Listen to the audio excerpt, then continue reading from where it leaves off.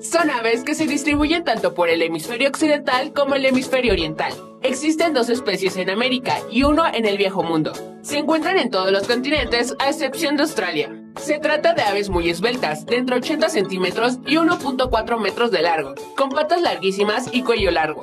El pico es muy característico y perfectamente adaptado para hurgar en el barro. La mandíbula superior es de menor tamaño que la inferior y tiene una pronunciada curvatura hacia abajo. Los pies tienen cuatro dedos, los tres delanteros unidos por una membrana y el posterior muy pequeño. Todas las especies son de color rosa más o menos fuerte, desde el rosa claro casi blanco del flamenco europeo hasta el color salmón del flamenco del Caribe. Necesita grandes extensiones de agua poco profunda. Hacen los nidos de barro con forma de tronco de cono con la cima cóncava, donde colocan de uno a dos huevos que incuban durante unos 30 días. Los flamencos alimentan a sus crías con una leche similar a la de las palomas, pero con más grasa y menos proteínas. Las crías son alimentadas con este producto durante uno o dos meses, hasta que su pico está suficientemente desarrollado para filtrar el alimento. Los polluelos a los pocos días de nacer son capaces de correr, nadar y a los 70 u 80 días de nacidos ya pueden volar. Las crías de flamencos salen del cascarón con el plumaje blanco, pero las plumas del adulto son de color rosa luminoso a rojo, debido a las proteínas carotenoides obtenidas de su alimento.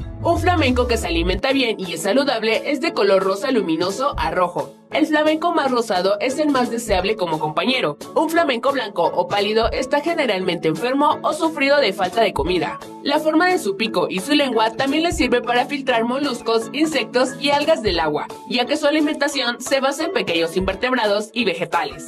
El flamenco es torpe en tierra, pero son fantásticos volando. Alcanzan una velocidad de 50 km por hora.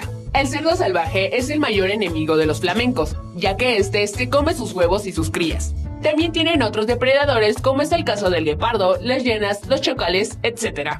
Si fue de tu agrado este tema, dale like, comparte este video en tus redes sociales y suscríbete a este canal, eso me ayudaría muchísimo. Enviamos cariñosos saludos a quienes comentaron el video.